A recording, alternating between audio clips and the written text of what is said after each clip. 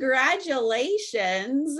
I appreciate it very much. Uh, it was, you know, the, the objective was to win, no question mm-hmm. asked. And I think mm-hmm. if we mm-hmm. did it again, Raquel and Kayla could win the finale. We could win the finale. You could just flip the coin every time. Um, right. But I'm blessed I got to see the world with my best buddy. Um, that, the main thing was let's go as long as we can, buddy, and just make up for lost time.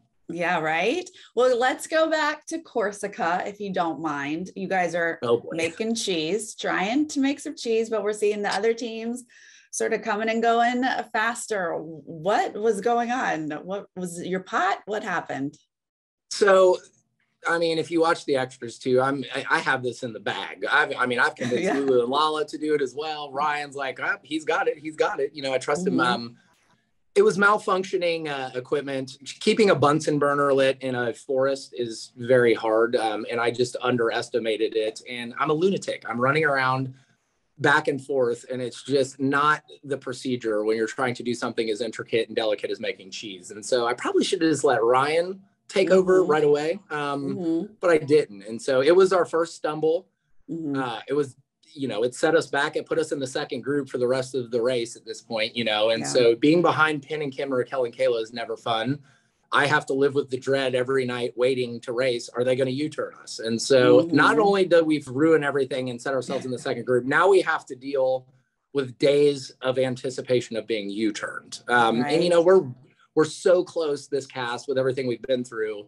but at the same time I would do it to them. It, you know it's a race oh, and yeah. it's for a million bucks, and so I you know I understood I wasn't going to like it. Um, it weighed on Ryan and I a lot, but like I said at the end of the episode. Um, it was our best leg up to this point, in my opinion. Mm-hmm. Maybe not a W, but resiliency, our mm-hmm. friendship, and just sticking together, man. It like it let me know that we really have a shot at this. Um, and yeah. so, game changer, big stumble, but a building block in the same time. Right. Well, then in Greece, I mean, turning rocks over for two and a half hours is going to destroy just about anyone. Was this the hardest moment of the race? by far um, the, the, rocks it's it haunts me i mean literally to this day I, when i got home I, you know i'm talking with my wife and just that that i just compartmentalized it afterwards and kind of just put it away and when i got home i sobbed for like hours and just decompressing everything um, it was a blessing and a curse at the same time. Uh, it was miserable. It put me in a very dark place. Mm-hmm. But at the same time, it gave me an opportunity and Ryan an opportunity to like calm me down and bring me up there and take in a view. Um, it was a very beautiful moment. Sombering. Uh, it. I was very worried. I, I, was worried the whole time for this episode. I've been dreading this mm-hmm. just mm. because I didn't know how I was going to be portrayed. And you know, I have a one-year-old son now. I was just so scared of like what could be. But I think it's a it was the most beautiful thing ever. And uh, the outreach I've had, the support, um, so many people are like, you know, I've dealt with anger issues. It's amazing that, you know, something I was so scared of gave a voice to a lot of people. And it's, yeah, it's been such an amazing experience. And just the people that have reached out, it's, uh, it's truly, I'm like about to cry. Well, I, yeah, I was going to say, I mean, I've struggled with anger issues too. It's really, it was lovely to see you talk about that and to see you stop it and to work through it however you had to process that. And then it looked like you were a bit chiller in the next legs. Did you make a change?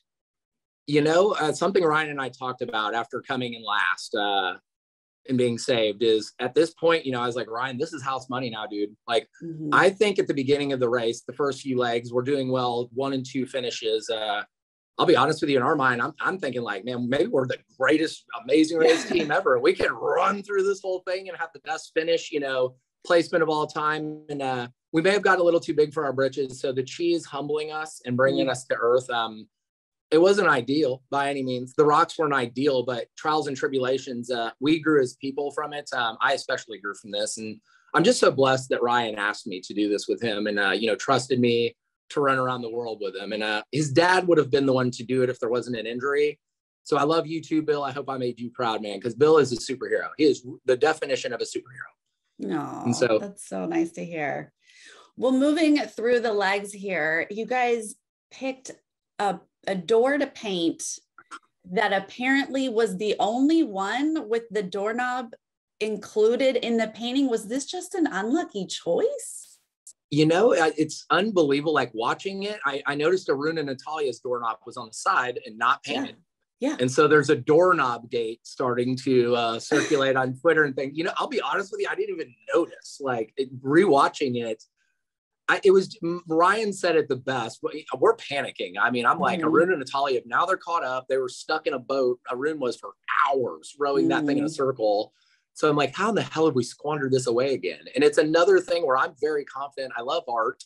Mm-hmm. You know, mm-hmm. it's like everything I thought I was going to be good at. The Amazing Race put my throat out. And so it was nice for Ryan to say, we need to step back, look at the micro, not the macro on this, Dusty. Mm. And immediately he was like, oh, it's the doorknob. And I, they didn't say show this, but I screamed, oh shit, it's the doorknob. and Ryan's like, be quiet, be quiet. They're going to hear you. And uh, what a humbling experience. I'm like, who paints a doorknob? It's insane. Uh, yeah. And, and at that point, we've seen other teams leave without painting their doorknobs. I, I was confused. Didn't make sense to me either. I, I mean, I was, you saw that we had nine checks. I would literally touch up one little spot, check, fix another one, check. I'm yeah. to the point where I'm like, Ryan, maybe it's just time we need to go home. no, your door was like the most beautifully painted because you perfect. Was back. I mean, it was so good. So and I was like, times. there's no way they're judging us on artistic ability. Ability, right. like no one is going to paint a door perfectly. I'm like, what could it be? But thank goodness for Ryan. When these situations arise where things are going bad, he's the guy that can. He's just calm. You know, you need that, and we balance each other well, but it, he's the just the perfect specimen to run with someone like me. Uh, I think Penn and yeah. Kim said it the best. Dusty is a roller coaster. Ryan's a straight line.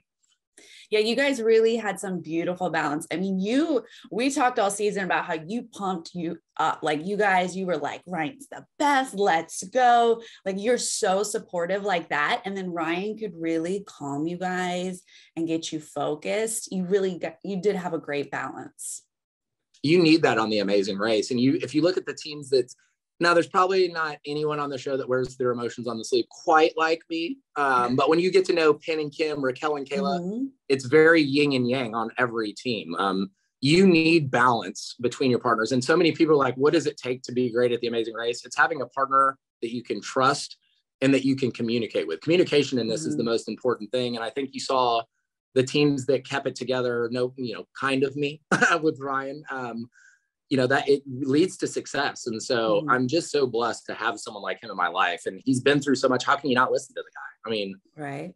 Like right. anything he says, I'm listening hardcore. Yeah. So this final leg, you guys are on a rooftop trying to spot a, a combination going up and down was there anything that could have been done differently? What was the secret here? Uh, uh, like honestly, when the leg started, our our game plan, our motto, Ryan and I's were one, run seventy percent. Um, mm-hmm. You know, calm, cool, collect, and I think that's more mm-hmm. directed to me from Ryan. He's like, you just got to slow down a bit. Um, and it was just eat an elephant one bite at a time. Uh, it went to hell in a handbasket right out of the gate. If you watch, we're the first people to find the clue box or the lockbox. Um, we're looking out over rooftops. I'm looking at every single number. I see a number mm-hmm. 10. And so the number 1025 will haunt me for the rest of my days because after the elevators, we crushed the leg. I mean, we yeah. are, we do everything faster than everyone, in my opinion. You get to see time. I mean, we ran a hell of a leg. It's just against mm-hmm. Penn, Helen, Kayla. If you make one mistake, you're toast. And we got right. the opportunity to start at the same time. That was our biggest fear the whole time being behind them. We did what was needed to that needed to be done. We just didn't capitalize. They did, and uh, they're just such good competitors. And I, you know, if they ever made a season where they take the top three teams and pit them against other seasons, I'd feel very confident in our crew. Um, right. I, I, agree. And I wanted to run against the best, and I ran against the best. And uh, Penn and Kim, I love you guys, man. You, you're beasts. it's crazy. Yeah. yeah, this was a really great final three. Well, this season was so unique with the shutdown a complete reset. What was that like? You guys were obviously racing a great game at the top and then had to just wait 19 months. Yeah. I mean, unprecedented. And I, uh, I know a lot of people went through a lot of things over those 19 months. Uh, I had a baby, a major surgery. I moved across the country. My wife mm-hmm. took a new job. I took a new job uh, my father passed away. I mean, it was a mm. whirlwind. And I'll be honest with you, after you know you, are 19 months into this, I'm like, this probably isn't going to happen again. Uh, I don't right. see COVID up. and it was the perfect storm. It worked out well. And uh, getting that call to know we're getting a crack at this again was life changing um, because we were running great. And I was like, Ryan, we're going to win this thing, man. Um, mm-hmm. And I just wanted to get the rest of the experience with him. You don't get to do these kind of things with your friends. And so, especially with Ryan, it was a great opportunity to make up for lost time. And I'm just so blessed I got to do it with him. And he picked yeah. me because he. Was there anything that you guys prepared for that you didn't get to use? Uh, you know, I watched all the videos. I've listened to a lot of podcasts. Will and James, I look up to quite a bit. Uh, they're studs. Uh, you know, I'd walk around here and there with a wine bottle on my head. Um, it was a lot of memory, memory challenges for me working on that. And physically, uh, I lost 25 pounds from the first three episodes to the second. And so, losing my father, I lost my grandfather early to heart issues, and then having a son. I've always been a pretty healthy person. Um, it just really kicked it into overdrive for me. You know, I want to be around. I don't want my son to not have a father and I don't want to mm-hmm. die at, you know, 60 years old, like everyone in my family. And so that was very important, but just mentally, Ryan and I shared notes every single day, um, countries, flag, same thing everyone's doing. It just mm-hmm. ingrained it into me. And it was beautiful leaving Missouri to Colorado and starting a new business. I kind of walked away from insurance for a while. So it really gave me ample time to focus on this. And I mean, I turned it into a full time job, and I'm just very lucky. My wife is uh, fantastic and can be a breadwinner, take care of me, and give me the opportunity to train for something like this. Uh, we put the work in. I mean, I think mm-hmm. it showed. We didn't get what we wanted, but we made it to the end. Oh yeah, absolutely. So you you've talked a lot about the great team that you guys were. Is that the highlight, or was there a great leg, a challenge that you loved? What was your favorite part? I mean, by far, the time spent with Ryan means more to me than anything on the race. Um, the bungee jump, uh, not my thing. And so to get, uh, if Ryan and I, if we, the first few roadblocks, we probably should have done them oppositely. I should have done the hike in Switzerland. He should have done the bungee jump. That's what he wanted. But that'll always stick out to me for overcoming that. Uh, the conversation had, I mean, if everyone knew, you're seeing this dam driving, and I know Kim is terrified Mm-hmm. I'm terrified. I'm so glad that I won the paper rock scissors so I could get it over with. For I was so scared to watch her do it than me have to do it. That really stands out. But honestly, the leg in Corsica coming back, uh, I think the emotion shown on the beach, like rewatching that. Um, I'm not like I, I feel like people are like this guy's cock. It's just I'm a very emotional guy, and you know mm-hmm. you see it on the show. When I'm down, it's bad, but when I'm winning, I like to have a good time. I mean, this the race is crazy, man. It just puts you in a pressure cooker, and it's about surviving. It's not even like excitement, it's relief. you know, I made it, we're here still. Right. So that really sticks out to me as well, overcoming that and getting to stay in the dance with Ryan. It was fun. And, you know, I think there's all kinds of funny quotes. And Ryan's calves are pretty great too. Like,